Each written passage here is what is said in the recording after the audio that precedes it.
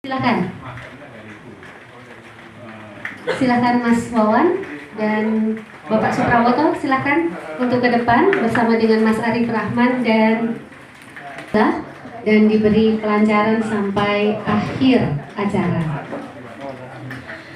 Sebelumnya terima kasih yang amat sangat kepada yang terhormat Bapak Suprawoto. Beliau adalah salah satu tokoh literasi di Kabupaten Magetan. Kemudian terima kasih kehadirannya juga Bapak uh, Arif. Jadi ini buku fresh from the oven. Selamat Mas Awan, uh, walaupun saya baru kenal gitu ya. Uh, ternyata ini adik kelas saya ya di Gajah Mada di jurusan ilmu pemerintahan. Kalau saya lulus tahun 82 ya kan gitu ya. Barengannya Mbak Ratna gitu ya, Mbak Ratna Pati itu angkatan saya.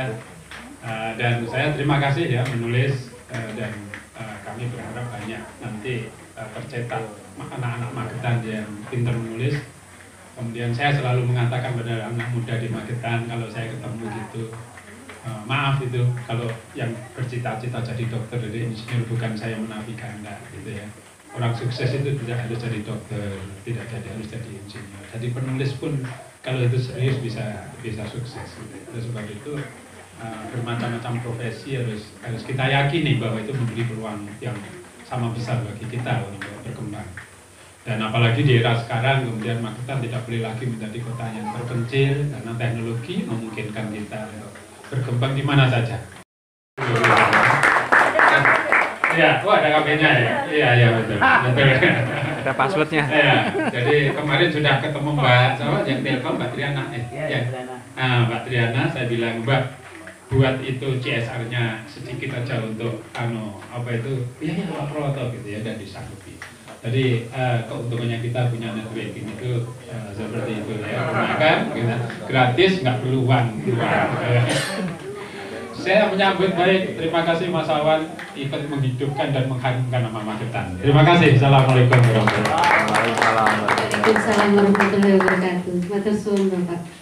Jadi nanti uh, insya Allah bisa terwujud Magetan itu menjadi kota literasi dan literasi menjadi bagian dari pariwisata. Tetap ya Mas Adit ya. Dan memang benar, ini sederhana, sangat sederhana, tapi menarik. Silakan Mas Wawan waktunya.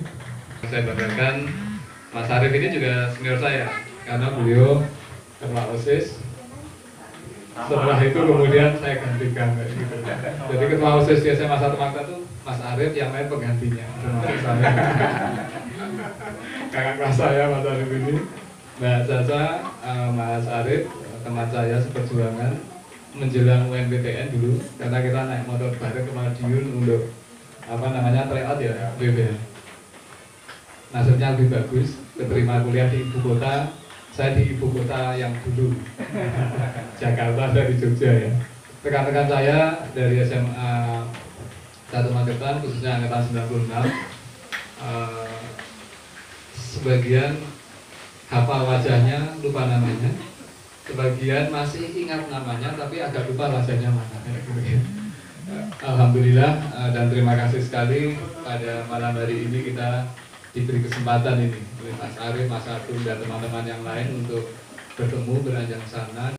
Kawasan industri yang langsung terkoneksi dengan Korea, bulu mata, kemudian uh, kuku, wig dan lain sebagainya, termasuk dengan Jepang untuk um, apa makanan tataan makanan sushi itu. Karena di sana kan daerah penghasil uh, singon tahun dan lain sebagainya itu bisa juga di tempat lain juga seperti itu uh, dan itu terus uh, berkembang.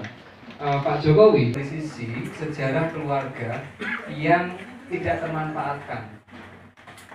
Jadi saya melakukan banyak riset, tetapi banyak sekali informasi yang saya peroleh tentang beliau, tetapi tidak mungkin saya tulis menjadi bagian dari tugas S3 saya. Karena itu saat itu uh, 2017 sekitar bulan Mei atau Juli, saya berpikir wah saya mau nulis lah sebuah tulisan uh, akademik tapi populer, uh, akademik tapi populer, akademik yang bisa dinikmati masyarakat Akademik itu artinya apa? Akademik itu artinya bagi saya simple informasi yang saya peroleh langsung dari lapangan dengan cara yang benar, dengan cara yang baik.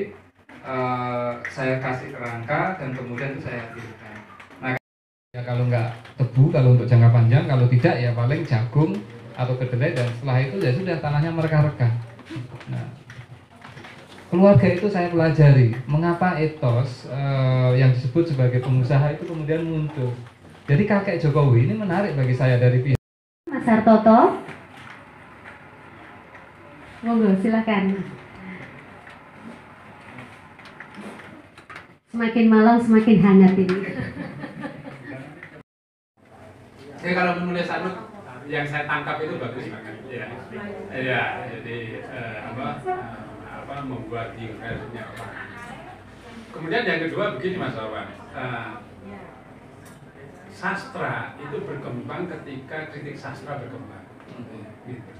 Buku itu berkembang ketika apa itu ada bedah buku, ada semacam ini. Oleh sebab itu saya sangat mengapresiasi apresiasinya gimana? Tidak ada sebuah karya, apalagi buku, apalagi disertasi yang sempurna, kecuali kitab suci kan begitu ya. kan gitu ya. Jadi eh, itu memang sebuah sebuah sebuah hukum, eh, sebuah hukum bahwa tidak ada sebuah karya yang. Tetapi minimal begini, minimal bahwa eh, Pak Jokowi itu bukan bukan bukan menjadi eh, apa monopoli orang yang menulis sebelumnya gitu ya. sehingga apa sih saya khawatir begini ketika undang-undang dasar 45 itu hanya Muhammad Yamin yang kemudian jadi notilen kemudian dia menginterpretasikan hanya Muhammad Yamin sampai sekarang gitu. sehingga ya monopoli dia gitu ya. Oleh sebab itu sebuah buku apalagi sebuah sosok kemudian Pak Jokowi ini menjadi sosok nasional itu menjadi begitu berwarna gitu ya ada yang dari sisi ini, ada yang dari sini, ada dari sini, sehingga tidak monopoli seseorang. Gitu ya. Jadi kebenaran tidak dimonopoli. Sehingga itu yang yang kemudian me, eh, me- apa, me- sa- sama dengan ketika saya datang ke Uzbekistan, kemudian dialog ke ke makamnya eh, ahli hadis ya eh, Imam Bukhari. Saya tersentak di sana ketika kemudian beruntung kita punya Imam Bukhari yang menulis sehingga hadis nanti ada ada apa riwayat ini riwayat ini riwayat ini dan dan, dan. Ini luar biasa. Demikian juga ketika ada ada uh, buku kemudian begitu banyaknya ini akan menambah uh, apa men- ma- ya, wa- wa- apa kasana ya kasana.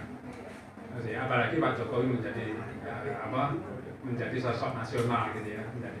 Ini yang yang yang yang kemudian uh, kita harus apresiasi uh, dengan segala kekurangan uh, karena saya yakin saya yakin yakinnya bahwa setiap apa pun buku itu pasti pasti ada ada kelemahannya.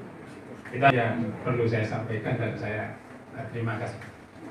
Serang apa tadi eh, di forum ini saya jadi jadi apa namanya terkejut ya Pak. Mbak Sasa eh, apa sangat fasih me- me- mengkritik eh, mengkritisi isi buku ini sehingga saya jadi kepikiran begitu banyak sumber daya manusia Magetan yang begitu hebat di bidang literasi Nah ini tinggal Pak Bupati perintahkan aja Pak. perintahkan ke beliau-beliau ini untuk membuat buku yang men-setting Magetan. Jadi biar Magetan itu dikenal di nasional dan ini disetting lewat literasi. Ya. Jadi misalnya ada novel Cintaku Bersemi di Mojo Semi.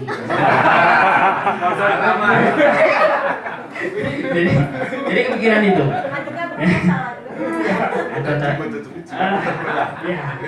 Tangisnya sarangan kan bagus itu mas ya. Jadi seperti seperti itu. Nah, kan ada Mbak Oki dan lain-lain. Suatu saat kita bisa kumpulkan bersama dan Pak Bupati bisa perintahkan itu kan gitu.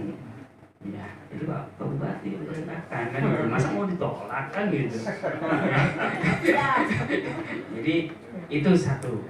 Saya kaitan sama ini tidak akan mengomentari dari sisi itu karena saya nggak punya kemampuan di situ. Karena saya ekonom, ekonom ya, pernah kuliah di ekonomi.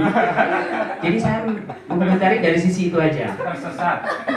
Jadi ini buku ini dari sisi periode waktunya ini menunjukkan kecerdasan Mas Wawan. Ya, buku ini lahir di timing yang tepat. Ya. Ini- ekonomi ya ini gitu, kalau ngomong Momen. saya ngomong hairis hairitan. Ya, jadi buku ini keluar ada risikonya, tetapi sebagai seorang ASN dia kan, tetapi eh, ada potensi hairitan gitu. Jadi kalau kita semua dapat buku ini jangan lupa minta tanda tangan. Jadi perlu dibuat buku kedua mas dari Parang ke Melbourne, gitu ya kan? Atau dari Parang ke Melbourne ke Istana kan? Jadi itu mas. Jadi eh, saya bangga sekali. Ya mungkin makin banyak nanti buku-buku berikutnya. Jadi saya menyampaikan pesannya Pak Bupati ya. Eh, berikutnya pikirkan supaya ikut membangun Magetan ini melalui literasi seperti apa. Gitu ya. Terima kasih Mas Wawan. Dari saya cukup sekian saya kira ini mirip-mirip. Jokowi sama Ken Arok ini mirip-mirip. Sama-sama dari orang yang orang desa-desa banget gitu kan. Jadi orang desa yang bisa mencapai sampai di istana.